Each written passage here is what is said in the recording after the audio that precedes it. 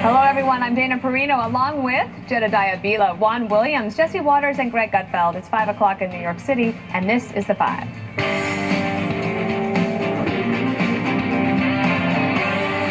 Kanye West off Oval Office meeting with President Trump, sparking a media firestorm. Here's a quick refresher of what went down yesterday. You know, they tried to scare me to not wear this hat, my own friends. But this hat, it gives me it gives me power in a way. When I put this hat on, it made me feel like Superman. If he don't look good, we don't look good. This is our president. He has to be the freshest, the flyest, the flyest planes. But I love this guy right here. Let me give this guy. I love this guy right here. The sit down setting off CNN's Don Lemon. Uh, Don, what did you think? I, Wolf, I listen. I don't. There, I have no animosity for um, Kanye West. What I saw was a minstrel show today. Him in front of all of these white people, mostly white people, embarrassing himself and embarrassing Americans, but mostly African Americans. It was so hard to watch. Him sitting there being used by the President of the United States. Lemon taking his disapproval a step further by invoking the late rapper, I'm sorry, the rapper's, excuse me, his late mother. This was an embarrassment. Kanye's mother is rolling over in her grave. I spoke to one of her friends today, or texted with one of her friends today from Chicago, Donda's friends. I used to live there. I know him. She said Donda would be would would be embarrassed by this. She would be terribly disturbed by this. And needs a father figure. He needs someone to help him and to guide him. And he needs a hug more than anything. Kanye, back away from the cameras, go get some help, and then come back and make your case. Others in the media are also blasting the Kanye Trump summit. Watch this. This is such a blitzkrieg of blathering ignorance on one level. And I say this as a man who loves Kanye West, who admires his genius, and who considers him a friend. This is the kind of conversation that would typically be held between people wearing hospital bracelets. There is a deep sense of betrayal among people who follow hip hop and rap. This was a giant, shiny object in the Oval Office wearing a red hat. That but if you think you're bonkers. going to get uh, uh, a thoughtful play-by-play and political analysis, you're not, because that was an assault on our White House. Then why give it all this hype? Why fan the flames of the foolish? And it's not okay what happened here. And celebrities are criticizing Kanye. Fellow rapper T.I. posting on Instagram, quote, this is the most repulsive, disgraceful, embarrassing act of desperation and auctioning off of one's soul to gain power I've ever seen. And other Hollywood stars like Chelsea Handler and Rosie O'Donnell also slamming the visit. We could go on and on, but we want to get to the discussion here. Uh, Jesse, let me turn it over to you. The uh, hysteria over this meeting was hot and heavy. Right. So if Kanye is so marginalized and so insignificant and such a clown, why is the media so angry? Mm. Why are they so upset? It's because he's influential. It's because he's making a lot of money. He's very talented. And a lot of people listen to him because he's very popular. And if the black community is open minded about President Trump, then that poses a real significant threat to Democrats electorally. The Democrats have already written off the white working class, they've written off veterans, they've written off key constituencies traditionally within their party. They have to drive up numbers among minorities in order to stay competitive with Donald Trump in 2020. So when they see this, this isn't good for them. And I remember, you remember, when Kanye West said George Bush doesn't care about black people. And the same media that's criticizing him now applauded him back then. So when you criticize as a black man a Republican, you're sane. And then when you spread love to a Republican president, you're insane. I don't like how that works. And Donald Trump won about 8% of the black vote. Does that mean all those 8% of African American voters in this country are crazy? They're ignorant? They're all fools? Women who vote for Donald Trump, are they gender traitors? Hispanics who vote for Donald Trump, are they nuts too? It's funny how the media, and they look really small right now, they're trying to dehumanize him. When the media says that voting as a black man for Donald Trump is against your self interest, Who are they to determine who's someone's self interest? Why can't black Americans determine their own self interest by themselves? Why do they have to have the liberal media tell them what to do? And if you look at on balance, Donald Trump's trade agenda, his manufacturing agenda, his immigration agenda is beneficial to black voters, policy wise.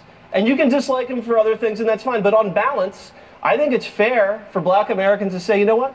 I could consider the Trump agenda, made in America, make America great again. Yeah, and in, in that scenario you talked about in, back in 2005, um, at least in the last, in the recent past, Kanye West has actually apologized for saying that. Media never oh, would apologize. And I just, I just want to say, yeah, I'm go part ahead. of the American media, and when he said that about President Bush, I was someone who definitely was highly critical because, again, he didn't know what he was talking about. So here you come and you say, oh, why can't black people be open minded about President Trump, this and that? Hey, guess what, Jesse? By your own measure, 92% of black people said our self interest is not being served by the agenda being promoted by so this he president. can't think for himself? No, he, if he was thinking for himself, he would have had some substantive argument to make. Instead, here's what he said, Jesse. Yeah. Oh, I put on this hat and it gives me superpower. I really want a father figure, and then, you know, he's separated by the desk. He has to get up and walk around. Trump doesn't even get up to hug the guy. He's there hugging Trump like he's holding on. He's trying to get something out of this. So is To Jim me- Brown a No, let me let me finish. Is Jesse, Jim Jesse, did? I interrupt Go you? ahead. Come on, man. So what I'm saying to you is, you hear this man say stuff like, "Oh, Trump's on a hero's journey. Maybe he's on a folly. I don't know." But it all it looked like was some guy ranting, and I am, you know, personally offended by the kind of profanity he brought there. I don't understand how anybody when can Joe Biden it. said it's a But. I don't get this. When you had people like Common, Jay Z, Kendrick Lamar, doing things with President Obama, the right wing went nuts. They said these guys are rappers. Some of them associate with uh, thugs and gangsters. Hey, what about this guy? All of a sudden, the man who's insulted Republicans, the man who has nothing to say other than his hat gives him superpower, is a Republican hero? This is ridiculous. It's absurd. And Don Lemon, amen. This is someone who is a shameful example of behavior in the p- presence of a powerful white man. I thought it was shameful how he went after his mom like that. You never go after someone's mother, Juan. You he didn't that. go after his mother. He Dead said his mother, of mother all would be rolling up. You Yeah, know, that was a cheap The shot. audience here, by the way, Admit you it a distort. cheap shot. It wasn't. You distort this whole conversation. This was not about black people or about his impact on the black vote. This is about how white Americans who say, "Hey, Trump has problems with race." Feel about Trump. Now Trump says, "Hey, look, America, I got a black friend in a red hat." Okay, you guys, I'm going to have to interrupt. The reason I was looking like that is because we have tape from President Trump. Watch. from Turkey.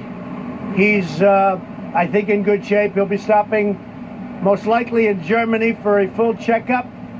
And then he's going to be coming to the Oval Office, most likely on Saturday. But we're very honored to have him back with us. He, uh, he suffered greatly, uh, but we're very appreciative to a lot of people, a lot of people. So Pastor Brunson's in the air, heading to Germany, and then coming to the U.S. He'll be landing on Saturday, most likely Saturday in D.C. What caused the release, Mr. President? Well, we uh, we spoke to Turkey, and he went through a system, and we got him out. They've been trying to get him out for a long time. Well, this has nothing to do with anything. There was no deal made at all. There was no deal. Uh, but we're very happy to have him and have him in good shape. I hear he's in very good shape. Mr. President, are you reevaluating the relationship with Saudi Arabia? Well, we're going to find out what happened with respect to the terrible situation in Turkey having to do with Saudi Arabia and the reporter. And nobody knows quite yet. Nobody's been able to put it all together.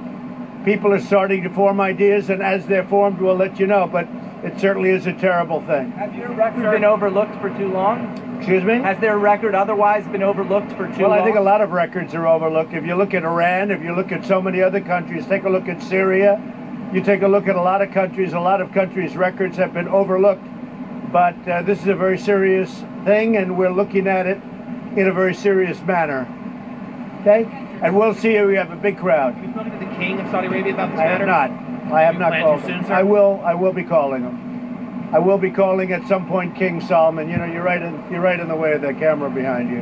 I'm sure they they think you're a very good-looking guy, but maybe not that good from the back, right? All right. So go ahead. So you plan to call him soon? Could you tell us I'll what be speaking to him. Yes, pretty what soon. conference should be like? Well, I can't tell you, but I, I will say that they are looking very hard and fast, and not only us. Uh, a lot of people are looking to find out because it it is potentially a really, really terrible situation. So we'll see what happens. Was it a mistake for Jared to develop such a close relationship with Yeah. the, Was it a mistake for Jared to develop such a close relationship with the No? I don't know if it's any closer than other relationships that people have.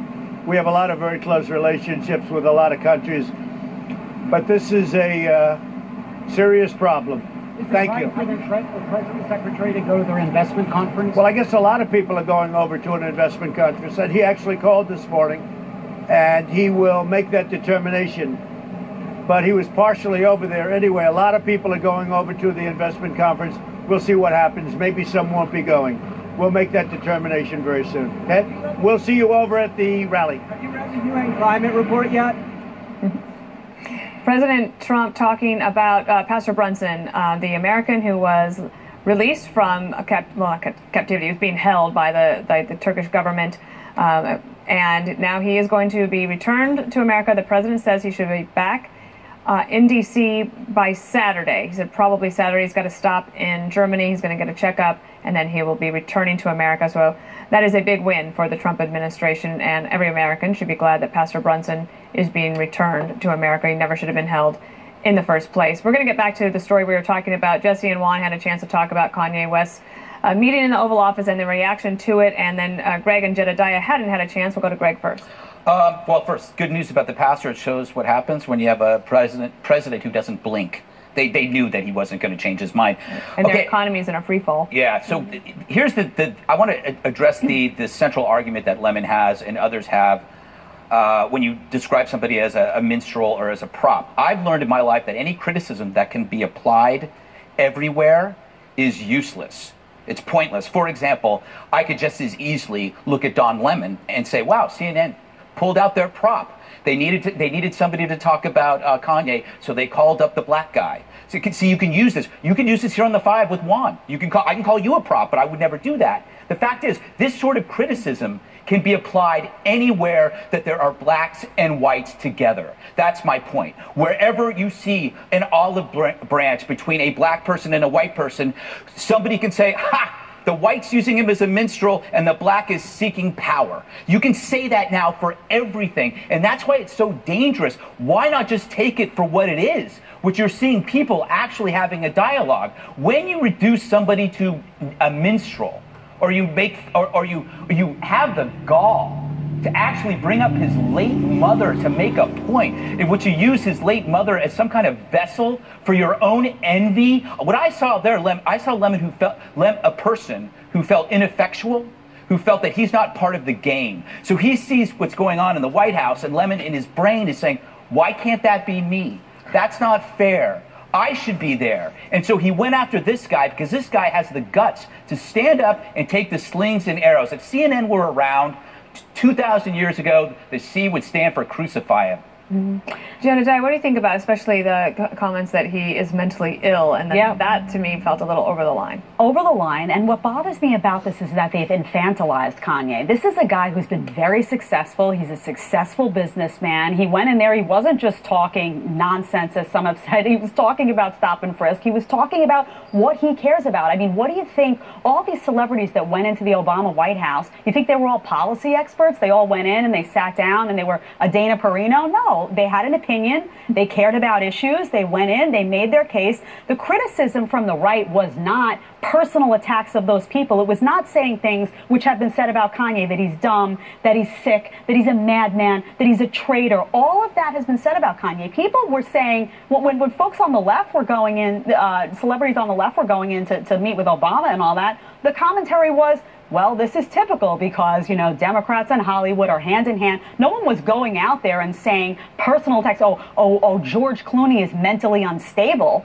This is over the line. This is because they cannot handle dissent. They cannot handle dissent. And as someone who has lived in New York City her whole life, I taught, I, I went to Columbia University, I taught in liberal academia, I can tell you that when you stand out, there is a pattern on the left of having to marginalize that person, of having to point out that there's something wrong with them, of having to drive them out. They are now trying to ruin this guy's career and ruin his credibility. And they're going to stop at nothing. And I have a real problem with that. Whether I agree with Kanye or not, that type of behavior should not be accepted. By the way, But- Greg, I just I, I don't I just don't want it to go without comment that I don't think I'm a token or. A, But you a- see my- you see my point no, about the I argument. don't see your point because I don't think anybody would say that to you, Greg. No, my And I point don't is think- anytime- And I don't think that given my record as a journalist, I don't think there's any way that you'd say, oh, but gee, people- does Juan Williams the, I'm talking about the superficial, looking at color. News People show? looking at color and going, "Oh, there's a black no, person and a white saying, person." Greg, I I'm wouldn't saying it could be that used anywhere. As a white person, I wouldn't say. I would say, listen,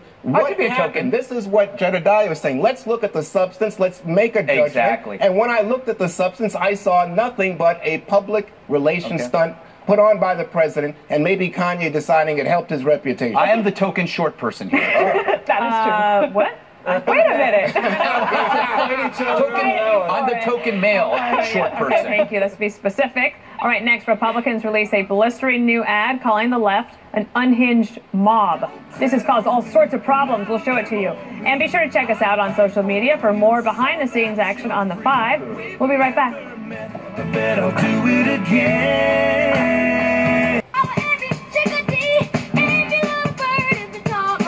The RNC trying to fire up conservatives ahead of the midterms with this new ad. Here's part of it. I just don't even know why there aren't uprisings all over the country. Maybe there will be.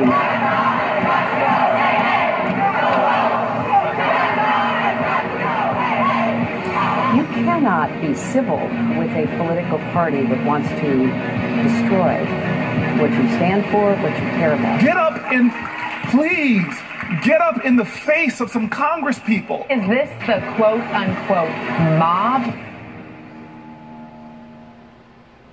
And Congressman Steve Scalise, who survived a politically motivated attack, he continues to condemn this heated rhetoric. You don't resort to violence, and to see leaders calling on violence, uh, that happens in third world nations, not in America. I- I'm concerned that you're seeing an increase of this. Uh, you know, look, I would like to see leaders on both sides calling it out. You're seeing leaders on, on the right calling it out. You're not seeing any leaders on the left calling it out. So, Jedediah, all this talk about mobs coming from Republican leaders, is this a desperation move to try to fire up voters? Kavanaugh's done. They don't have. They can't exactly rely on the tax cut to fire up their voters. So is this now? Oh, the, the opponents are all mobsters. Well, no, I think they're trying to showcase that what ha- what has happened, that the left has transformed itself. I thought it was a great ad. This is I often have criticized the RNC and said, you know what, they're not great at communications. They need to get better at it. This was phenomenal because this was taking, this was speaking to a lot of folks in the middle. A lot of moderate Republicans, a lot of independents potentially that, you know, they're going to want to vote in a presidential election in the future. And it was saying, using the very words of people in leadership positions that everyone knows in the Democratic Party Hillary Clinton, Maxine Waters, Spartacus even got a, a, feature in there. But using their words and showing that these are people who are not just disagreeing with you, with Republicans. These are people who are advocating for a lack of civility. These are people, they in fact are the people who have gotten desperate because the economy's gotten better, because they never accepted the election of Donald Trump, and they've gotten so desperate to resist that that they're actually in a very scary place. It was a way of showing moderates and showing independents where the party has gone on the Democratic side, it's not where it used to be, and it's not a place that you're going to want to embrace. And I thought it was brilliantly done for So, once. so Greg, yesterday though, you said when you heard Eric Holder speak, Mm-hmm. you didn't take it as a call to violence. You thought he's saying, "Hey, Democrats, uh, get tough." Yeah, you know, and um, if you look at the tape in its entirety, it's pretty. I think it's pretty obvious what he was saying is that we just got our our butts handed to us in the Kavanaugh stuff, and we got to go hand their butts back to them. Yeah. I guess that's how. It, but but I have to but I have to say though that Holder is uh, uh, he he has selective memory because the Democrats have always been pretty low in a lot of ways. We just came from something. This commercial, eh, you know, the the Democrats made their bed when they marginalized due process. You got to define what a mob is, and it's it, it's you know an absurd witch trial uh, masked as a job interview. That inv- you know how many job interviews involve you know gang rape allegations freelanced by a conniving attorney. Uh, the definition of a mob is uh, punishment without due process and uh, judgment without proof. And I think that's why this is going to work. It's funny. I just wanted to make this point. CNN hates the M word. They hate the word mob, but we just watched them mob a guy. That's true. All right, That's so 100% true. uh, Dana, so I think the the Democrats' position on this is, oh my gosh, President Trump uses bare knuckle rhetoric all the time. He talks about the president and people. He says, "Go ahead, beat him up. I'll pay your legal bills to people at rallies. Lock them up. Lock Right. them up." So they're trying to match him, right? So, Well, yeah, they- like I when an ad like that, the best narratives in politics are the ones that are based on truth. And if you can use someone's own words against them, then you should do that. And I think the mob thing is a really good example. The anger and desire for change on behalf of Democrats in 2020 is the same as it was for Republicans in 2016. And they are looking to nominate their own version of President Trump. Like, who's the angriest? Who's the biggest fighter? Who's the one who is going to fire us all up? And it's funny because they actually they want their version of Trump for as much as they can't stand Trump. They are looking for that because they think that's the only way to win. So that means that somebody like an Amy Klobuchar of uh, Minnesota, John Hickenlooper of Colorado, Mike Bloomberg, like these guys are not going to match President Trump's. Well, because of their last name. Hickenlooper. Hickenlooper's a tough That's a tough one. He's going to have to come up with a nickname. I, I would say, I, I'm sure Trump will do that. Uh, I- and I would say, remember the Black Panthers with the batons outside the polling station? I think it was Eric Holder that let those guys skate. And the paramilitary politics that we're seeing on this video. I don't know, Juan. I think that plays into President Trump's messaging that Venezuela is the left and Make America Great Again is America, and it's a perfect contrast. And if you look at the Democrats' intimidation tactics, it burns into the psyche of the voter. This is not a theoretical argument about budget deficits. When you see this, this has an emotional impact on people. And the greatness of America is because of the checks and balances. You know, you have the court here, you have the Congress here, everybody does their thing. And then in the midterms, the other people out of power kick out the other people in power and they don't kick down doors. You could either go the Tea Party route where you get a permit, hold a rally, hmm. and you vote, or you could do civil disobedience. And I think the left would be better off if they laid down in the streets and made people lock them up. And this is civil, this is uncivil disobedience, and the American people, they don't have the stomach for that. That's going to create traffic jams. I think there's civil. I Not in Manhattan. Don't do it here. I think there's a right to say I don't agree. I think there's a right to speak out, and I think, by the way, the Not president when I'm having my entree. the president says paid protesters. He was totally wrong, but again, trying to feed the right something. Some of them were this paid. next story has Greg all fired up. Stephen Miller's teacher, elementary school teacher, facing a backlash for mocking the advisor and what he did in grade schools. The fun, the fireworks, straight ahead. So much beauty in the world.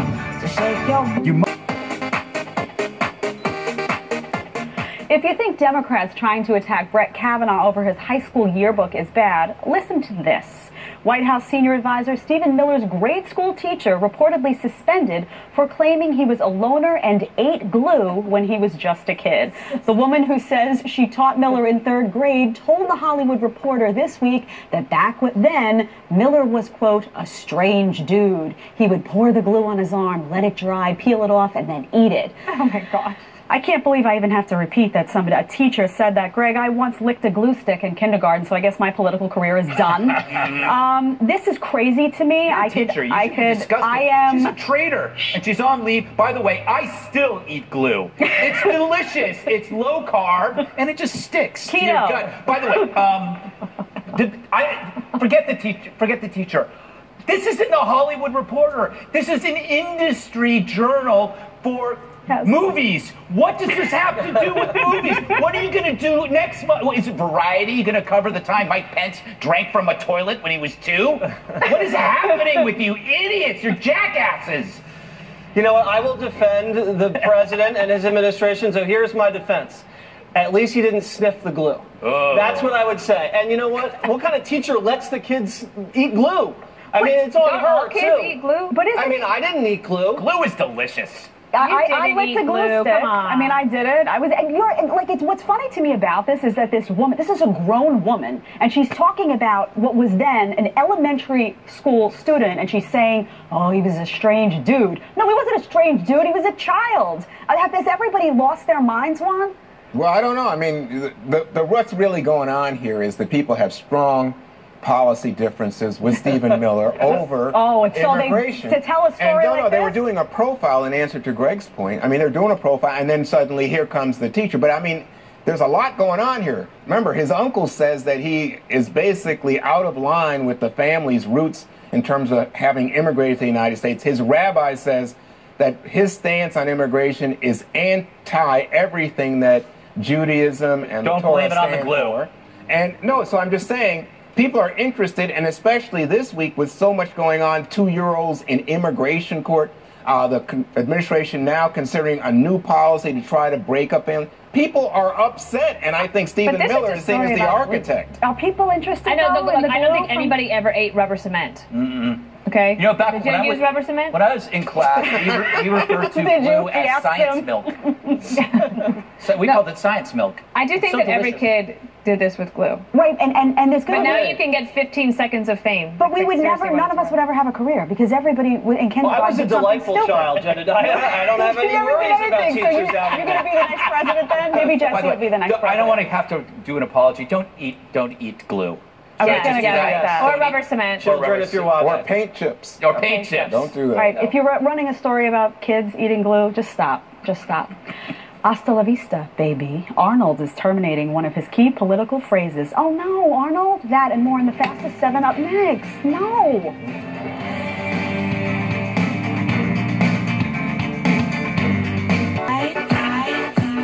That's Kanye one. Just relax. Welcome back. Time for the fastest seven. First up, remember when Arnold Schwarzenegger said this? And to those critics who are so pessimistic about our economy, I say, don't be economic girly man. Turns out the governor now regrets saying that. Quote, at the time it felt like the right thing to do. I called them girly men because they weren't willing to take risks. In the long term, it's better to not say that. I mean, come on. This is what he- Arnold is Arnold for a reason. You can't say anything anymore, so forget about it. You better just mute yourself right now. It was 2004. It was before, you know, the, the PC police ran the country, and nobody can just look at anything and just laugh it off. And maybe you don't like the comment, it's not the end of the world. Everyone, basically, we should all just start apologizing for everything we're ever going to say ever now, because at some point we're going to have to apologize for it. Yeah, that'll take me a long time. Juan, uh, what do you think? Is girly men offensive even now, 2018? No, I don't think it's, it's the offense. What he said was it's better when, in fact, we work together and try to come up with solutions rather than name calling. And I think in the Trump era and also in the hashtag Me Too era, he's saying, hey, you know what? I look back and I don't think it was the right thing to do. Dana. I was there at that event at Madison Square Garden. It was the convention, and I think about uh, it was based on the SNL skit, right? Mhm. So he knew his audience and Pump he was you up. laughing. So like, I wonder if they're going to have SNL apologize now. oh yeah, I don't see that coming. That's the, that's actually the, the, the big point. Um, whether the, the phrase is offensive or not, I think you could argue that it is offensive. Uh, if you would call somebody a girly man, I would think that would. But th- Well, I take it back what I said about you in the green room. Yes, but I, what my point to your point is that it was a, a reference to a, a, a, a satirical character, and so are we going to now damn satirical characters for their flaws? Because the flaws are part Yeah, of the character. fictional satirical characters. satirical- will say stupid things, and I, you know, I was wrong for my make-believe character to say something awful. That's idiotic. But to actually call somebody a girly man and believe it, you're probably a jerk. Right. All yeah, right. it's part Up next, American cheese is under attack, and millennials are apparently to blame. Sales of the classic American staple have reportedly been plummeting in the last four years. Young people are now opting for fancier and more expensive cheeses like Gouda, Asiago, and cheddar. So, Gutfeld, yes, this the millennials don't like this, and this is going bankrupt. Uh, you know, I Kraft Singles. I, that was my idea for a dating site for people who like cheese. but it never got off the ground. Look, it, Kraft singles are awesome. They're a great drunk food because they're individually wrapped. And I used to make a Kraft single sandwich, which is where you take a slice, a, one slice of Kraft singles, and then you put in, in between two slices of Kraft singles. I like that. Yeah. They're only good for cheeseburgers and for grilled cheese, in my And opinion. quesadillas. Quesadillas. You got to make a quesadilla with those. That's Well, I am, sur- I am shocked by how uh, my friends' children know much more about food than I ever did and ever will. I like a nice smoked Gouda. What about you, Juan? I don't mind, but I, I'm not a big cheese guy. But I must say, they would make great grilled cheese sandwiches. I grew up on those. That was delicious. Yes, so I. What about you, Jedediah? I, I eat cashew cheese.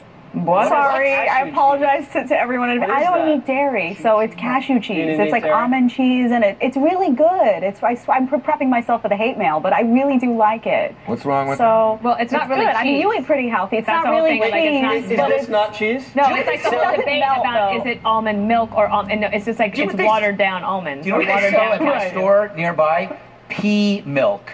Milk made from peas. Yeah, of course. Is No, but it San just, it, just, it just puts again? two things in my head that I don't pee and milk together. Okay. All right, we're going to move on, Juan. Okay. Finally, just when you thought commercial air travel couldn't get any worse, check out this video.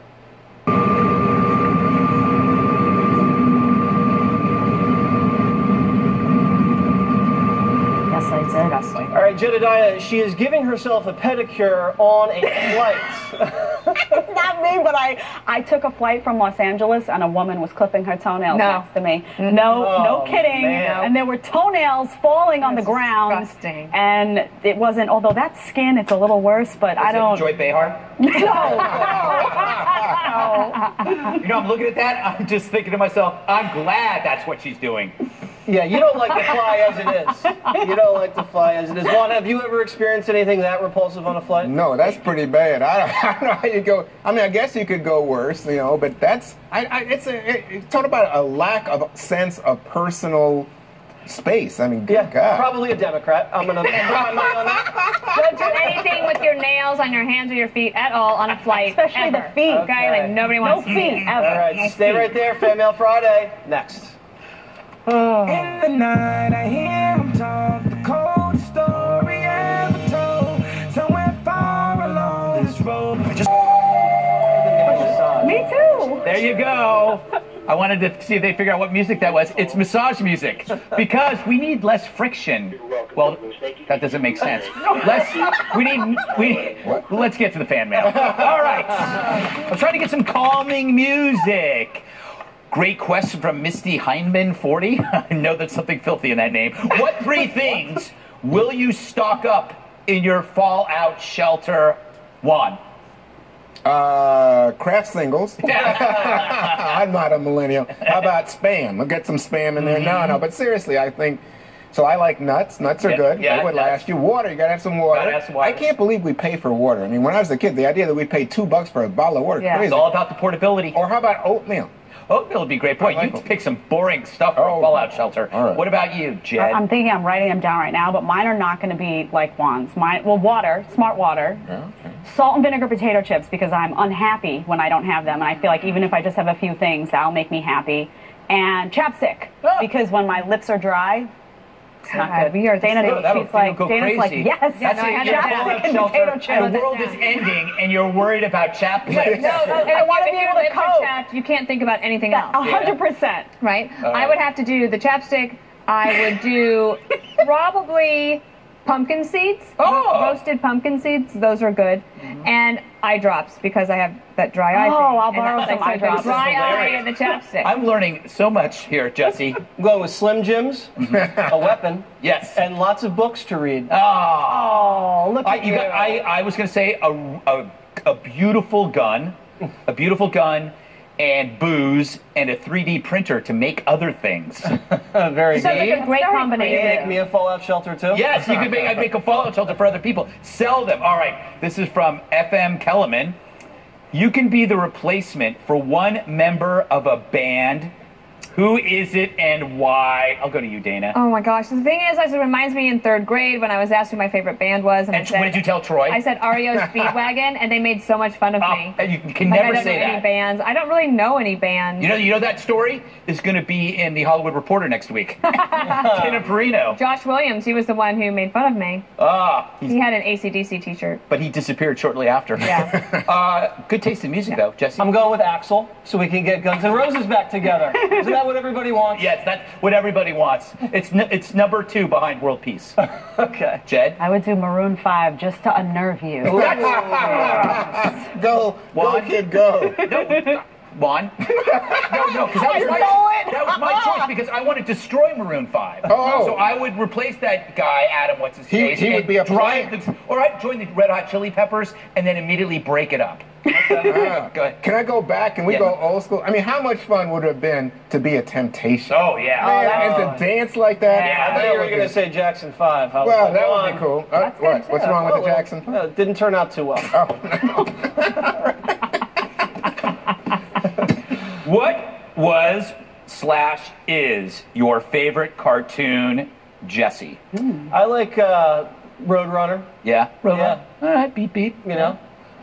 Dana. Flintstones. Mm-hmm. One. Uh, I wear a Huckleberry Hound T-shirt. Ah, fantastic. Good from the past there. Uh, The Smurfs, and I still watch them. oh, I like the Smurfs. The Smurfs. I wrote down Chris Cuomo. Let's get after it. All No, right. the cartoons beat Chris Cuomo. yeah, cartoons. Yes, yes. Uh, what's the most ridiculous thing you have caught yourself doing in autopilot mode? What does that mean? It's from Frenchie Firecracker, your favorite person. Oh, there she is. So I guess it's something that you do unconsciously that you realize you're embarrassed about. Is that what it is? No, it's like you know, like sometimes someone will come up to you and they'll say hi, Juan, and I'll say, oh, good morning, and then you realize it's not morning. I, just, I was on autopilot. I I did didn't say say that. that. That's a good. Have you ever drive down the highway and you're just driving, and then 10 minutes later you're like, wait, I've been driving for 10 minutes. No, that's very scary. You know? Yeah, you should see a doctor. You know? I would see a You- doctor. Everybody knows what I'm talking about. I would- no one does, and no one's gonna go. You on don't even have a with you. license. Dana? to film. I That's true. I think you know one thing that I think is embarrassing is when you're walking and texting and you get in, you get in somebody's way and you're like sorry, sorry, sorry, sorry. But the people in New York are quite pleasant about it. Oh, well, that's a nice. Except for me, I get irritated. These people, why are they bumping into me? Just look up, walk. Yeah. Jed. I say thank you when it's not appropriate. Yeah. Like I will open the door for someone and then I like say thank you even though I'm actually thanking myself. It's just a bizarre need to be polite. Ever That's do that to a waiter and they're like, well, which one would you like? And then you go, yes. Yeah, yeah. And the answer doesn't match Yes, the question. Yes. I'm never on autopilot. I always worry about it. Like, do you remember that Seinfeld episode when George Costanza walks out of the bathroom without a shirt on in the middle of a party? Yeah. No. I always worry that, that I might do that. Something like that. That could I. I, because I worry, it never happens. happens. Yeah. I never. And I, because no one invites you to a party. exactly. One more thing is up next. More music.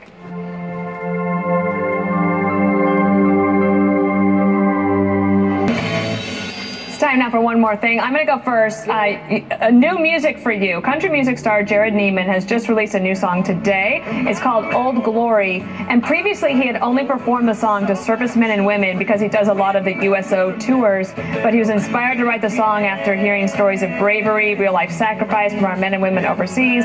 He describes it as 100% heart, 0% politics. It's available everywhere. It's called Old Glory. Here's a quick listen. One of our soldiers came backstage and I saw tears running down his cheeks. And he said, You don't understand what I've seen and, and what my brothers and sisters have been through. And that song is the closest thing I've ever seen to represent that. Niemann, and check out the song. It's quite catchy. One. Just do it. Even if you have cerebral palsy, just do it. Take a look at this video. Today, I am uh,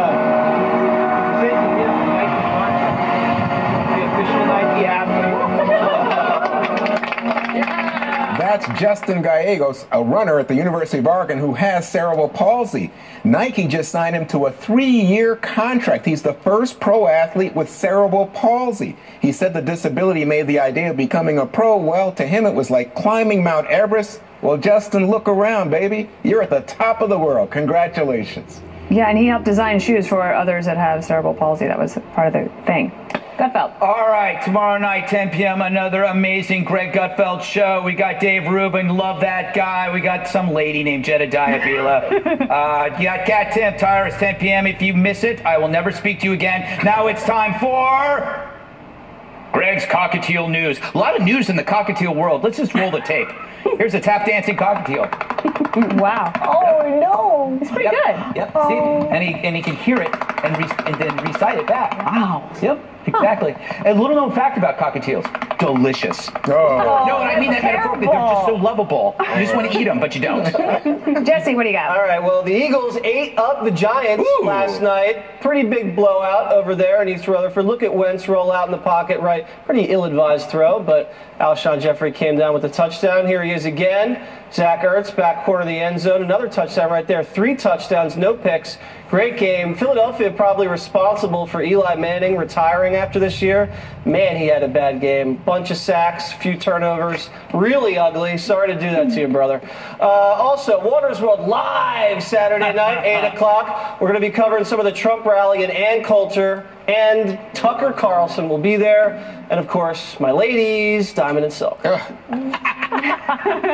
we won't miss it. Okay, Jedediah. I'm so excited for this. A baby elephant was born recently at the San Diego Zoo Safari Park. Look at the baby. Now you think compared to look, look at her next to her mom, but this baby is 281 pounds. Hmm. Still adorable. I still want one in my apartment in New York City. Oh. The biggest calf ever to be born at the safari park, bringing the total number of elephants there to 14, including four adults and 10 little ones. Look how beautiful. Oh, I can't take That's it. 280 pounds. 281 pounds. The average, they're generally It's an between elephant, everybody. 260. They weigh a lot. But it Baby look- elephant. yeah, it How do you doesn't not look fall in love with that? It's so beautiful. It's an elephant. Do you ever I've need- seen him. It's no cockatiel. It's no cockatiel. You know what? Fantastic. okay, that's it for us. We had a great week. We hope you did too. We'll see you back here on Monday. Special report is up next.